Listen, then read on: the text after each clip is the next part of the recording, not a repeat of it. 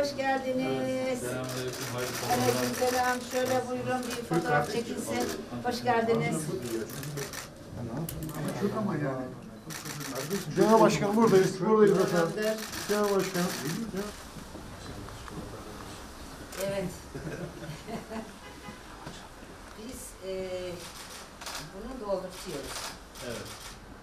Yani şeyde hediye gelenler dağılıyor. Çalışanlar razı olsun. Ayaklarınıza sağlık. Teşekkürler efendim. Çok teşekkür ederim. Çok mahcup ettiniz. Şöyle alayım. Ben de böyle şey yapayım. Evet buyurun. Buyurun. Şunu çıkart. Çıkar tabii tabii.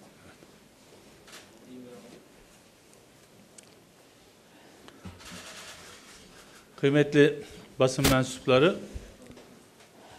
televizyonlarından ya da sosyal medya hesaplarından bizleri takip eden değerli vatandaşlarım, öncelikle sizleri ve İyi Partimizin kıymetli Genel Başkanı Meral Hanım'ı ve tüm camiasını e, saygıyla selamlıyorum.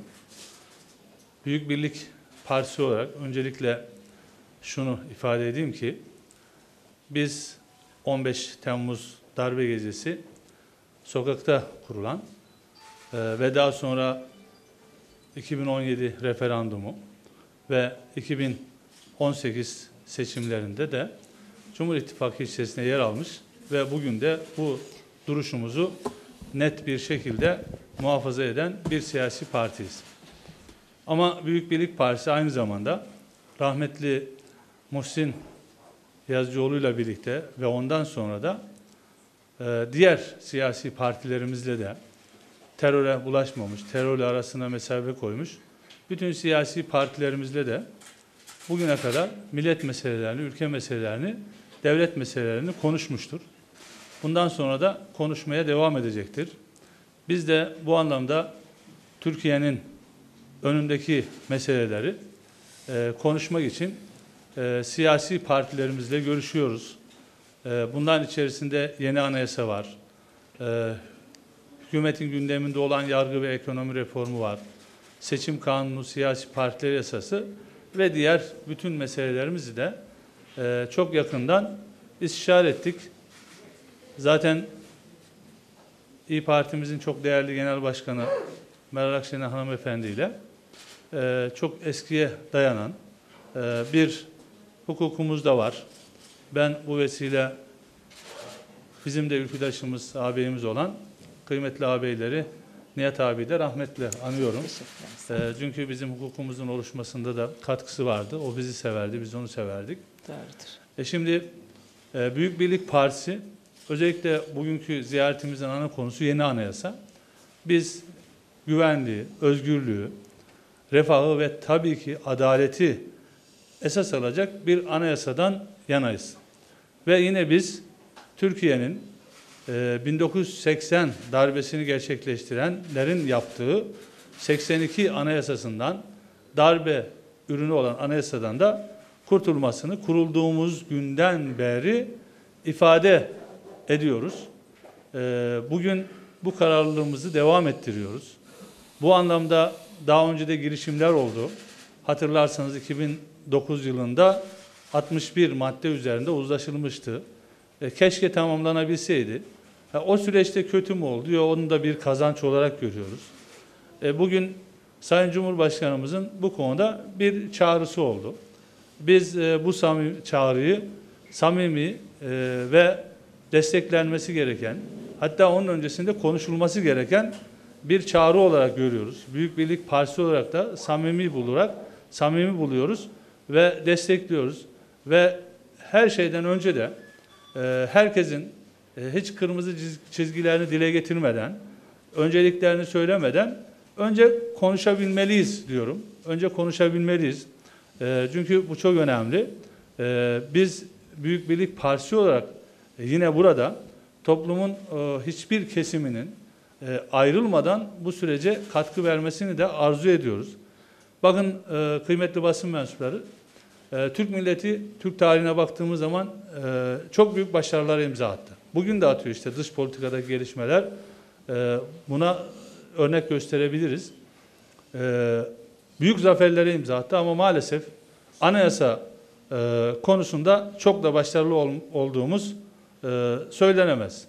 E, yani senedi ittifaktan e, tanzimata, meşrutiyetlerden kanun esasiye, teşkilat esasiye, 1921, 60, 82 anayasalarını hepsini incelediğimizde maalesef çok başarılı olduğumuzu ifade edemeyiz.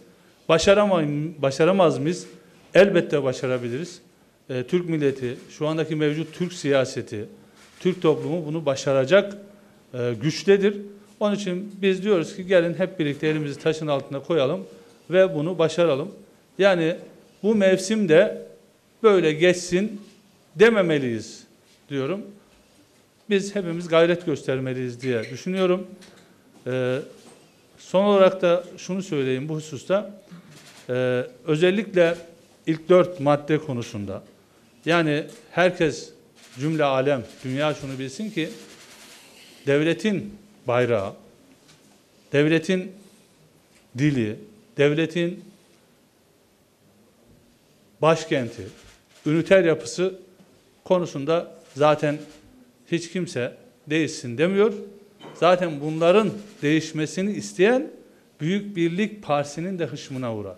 Yani bunu da herkesin bu şekilde bilmesini e, arzu ediyorum. Tabii seçim kanunuyla ilgili, seçim yasası ile ilgili de biz başından beri hep demokratik bir tavır e, sergiledik.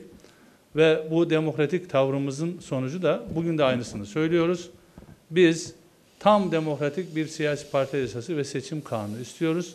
Ve bu konuda çok açığız, çok netiz, barajsız, e, amaçsız, fakatsız e, bir seçim kanunu istediğimizi bir kere daha burada da vurgulamak istiyorum. E, sizlere de e, ve e, Sayın. Genel Başkanımıza da Teşekkür heyetine de teşekkür ediyorum.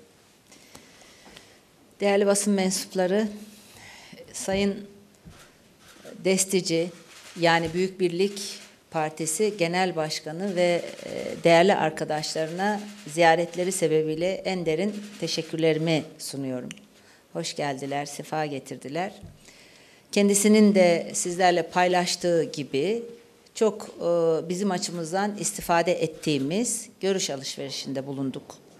Sayın e, Erdoğan'ın e, ortaya koyduğu anayasa e, teklifine dair veya anayasa yapacağız sözüne dair kendi görüşlerini bizimle paylaştılar. Başka konularda da görüş alışverişinde bulunduk ve gerçekten ben şahsen istifade ettim. Benim arkadaşlarım da aynı noktada.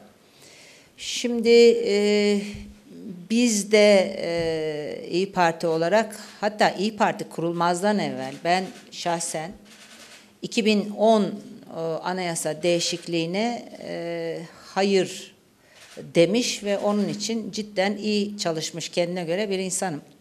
2017 e, anayasa değişikliğine dair referandumda da e, gene o zaman partimiz yoktu. Şahsen iyi çalışmaya gayret etmiş bir insanım.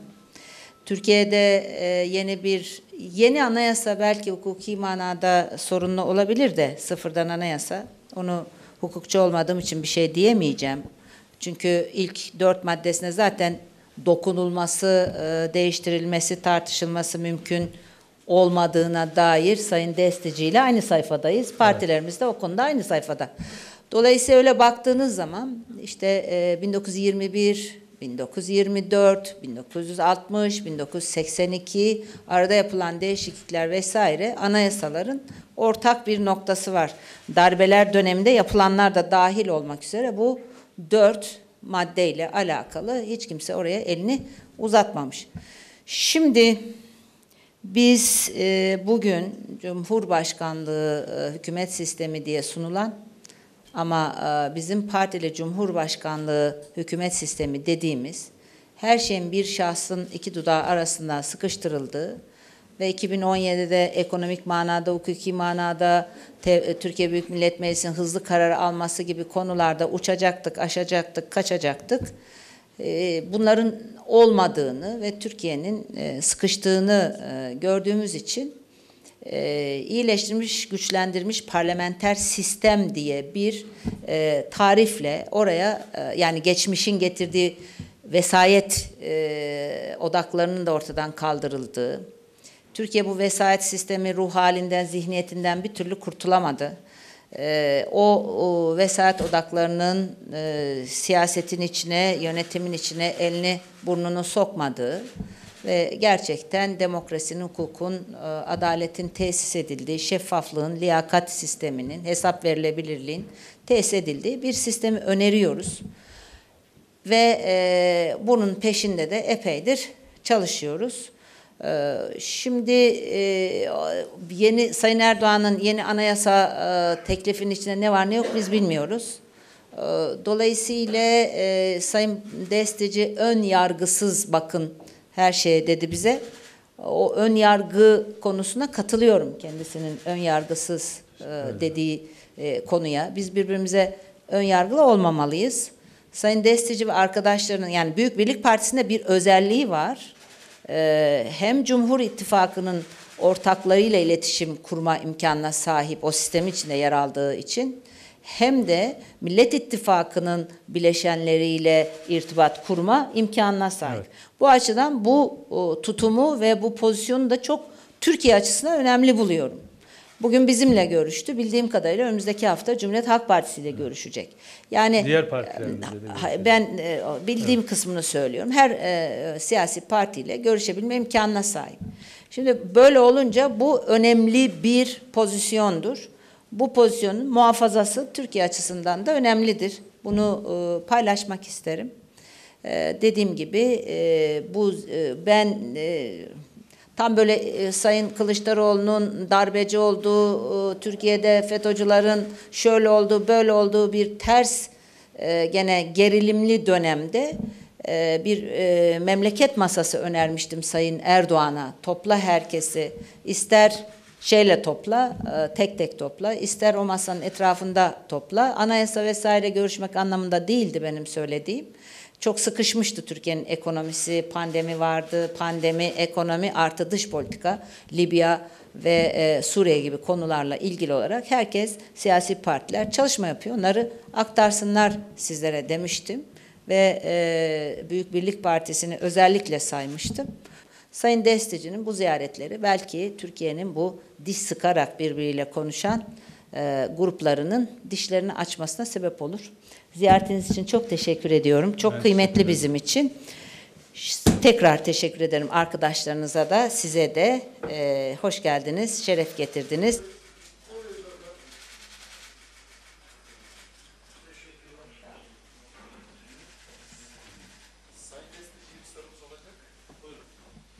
Diğer siyasi partilerle de görüşeceğinizi söylediniz. HDP ile de bir görüşme olacak mı? HDP ile görüşmemiz söz konusu değil. Oradaki tavrımız net. Ee, çünkü biz terörle iltisakı olan, e, terörün partisi olduğu açık bir şekilde bilinen bir partiyle bizim görüşmemiz söz konusu değil. Ee, eğer terörle aralarına mesafe koyarlar, PKK'yı, PYD'yi terör örgütü olarak ilan ederler, e, ülkenin, milletin birliğinin yanında dururlarsa bizim kimseyle şahsi bir problemimiz yok. Bizim davamız millet davası, e, bizim de davamız devlet davası, ülke davası. Evet. Ama HDP dışındaki e, hemen hemen bütün partilerimizle ister Cumhur İttifakı cephesinde olsun, ister Millet İttifakı cephesinde olsun, ister yeni kurulan siyasi partilerimiz olsun, e, hemen hemen hepsiyle inşallah e, bu zaman dilimi içerisinde görüşeceğiz. Peki, Evet. ben de teşekkür ederim. Teşekkürler. Buyurun. Çok memnun oldum. Bir gün beni ayrı ziyaret